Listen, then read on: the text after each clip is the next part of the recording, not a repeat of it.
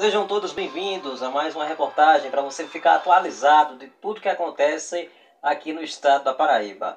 Olha, Coronel prevê que edital do concurso para a Polícia Militar da Paraíba deve ser publicado em maio. Pois é, o comandante-geral da Polícia Militar da Paraíba, Coronel Sérgio Fonseca, afirmou nesta segunda-feira, dia 3, que o edital do concurso para a Polícia Militar na Paraíba deve ser publicado em maio.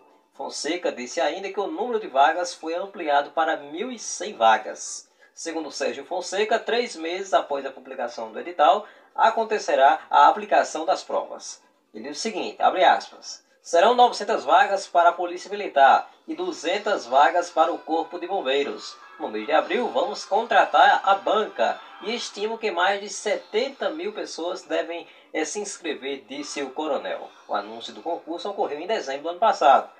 À época, o governador João Azevedo, do PSB, é, declarou que o certame deveria ter cerca de mil vagas e não deu mais detalhes com relação ao concurso. Portanto, informação aí para você é, desta oportunidade.